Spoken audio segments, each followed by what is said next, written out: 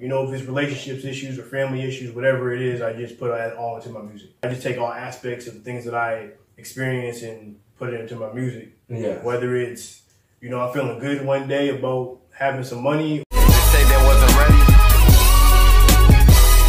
I'm here, nigga. 2020, the vision clear, nigga. What up, Smilez fam? It's your boy Smilez with Shane, and we're back on episode two of On the Come Up interviews over here. I'm with my boy, Most extra, validated CEO. and then we're just in here kicking it. Uh, where you from, fam? I'm from Windsor, Ontario. Um, origin will be Michigan though. How long you been doing music? I've been doing music my entire life.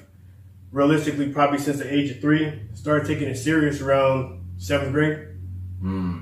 So music's always been in your household. You know Always. what I mean? So that can have a big effect on your life later. You know what I mean? Absolutely.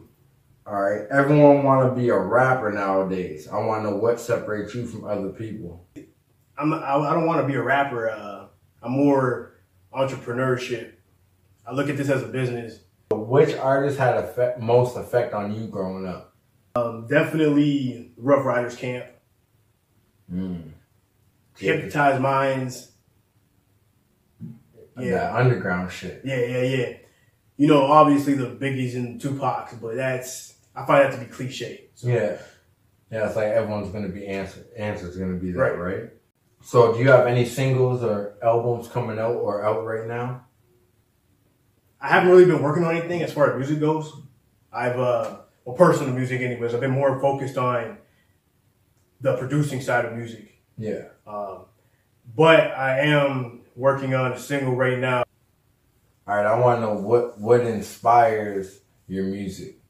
What inspires my music is is is life. It's experiencing life.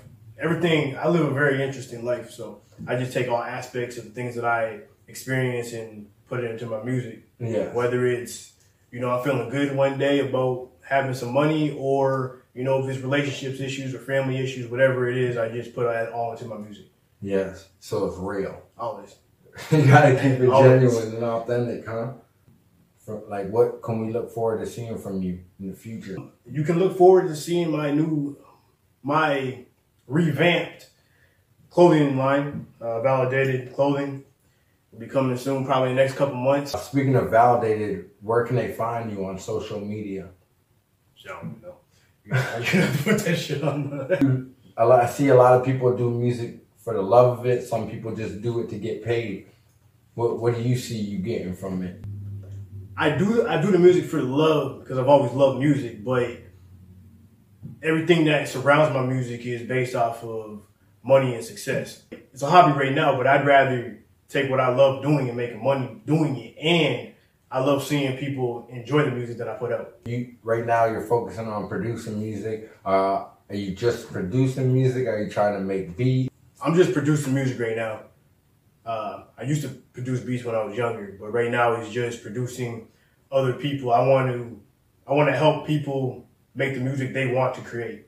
So if you can work with any pro, uh, producers, who would you work with? Definitely no questions asked. Uh, Diddy, obviously, he's been extremely successful. Yeah. Hits after hits after hits. You know, from Biggie to even modern day artists today. What five artists do you think has the most impact on the hip hop community? Diddy for sure. Jay Z. Um, right now, definitely Nipsey. When I t- when I ask that question, not a lot of people ever answer Run DMC. Oh, That had an impact on the culture. You know, the argument's always Biggie and Pop. right, obviously. right, right. I'm from the era where it would be Lil Wayne. All right, if you can work with any two artists, dead or alive, who would they be? Whew. That's a good one. Uh, I mean, That's so- not really something that I, I often think about, honestly. Uh, I would probably say Lil Wayne, one of my tops. I would definitely like to work with Lil Wayne. And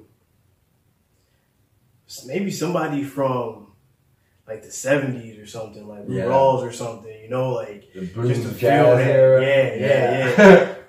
when mu- when you can actually make a song about how you feel about a Right. girl and not be yeah, judged. yeah, yeah, yeah, You know yeah, what I mean? By Like that, everybody that, else. that, that brings ladies, you know, definitely All right, ass or titties, ass.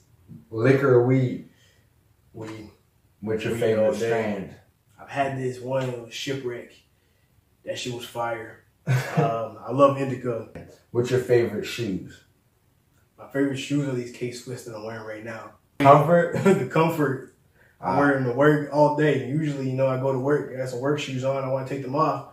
Fucking work, they just keep them on and forget them off. yeah, yeah. I'm, I'm like that with um, the Air Maxes. Okay, yeah. I feel like I'm just Just walking on clouds. Yeah, I'm good all the time. Uh, if you can work with any brand, what brand would you work with? If I can work with any brand, it'll be validated. What was your first job? My first job was being a DJ for team dances. Ah, fire! I want to bring that. You can bring that back now and make guap. Hell yeah. Straight up. Yo, straight up. I'm gonna ask you: Would you rather do four years in the army at war or eight years in prison? Shit. Probably eight years in prison. Yeah, right. I could get early fucking parole.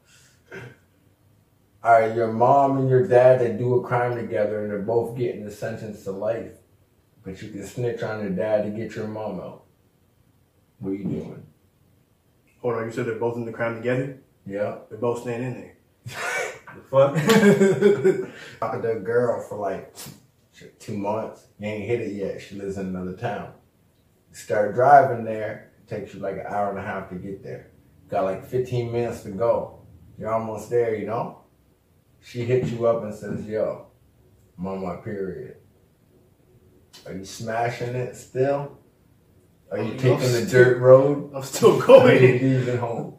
I'm still going. what the fuck? Hey, it might be light. Shit. So that's been another episode, man. Let the uh, I'll let them know where they can find you. Um, big shout out to all that fucking with your boy. Make sure you hit up my boy. We're also producing, so and remember, smile when you look at me.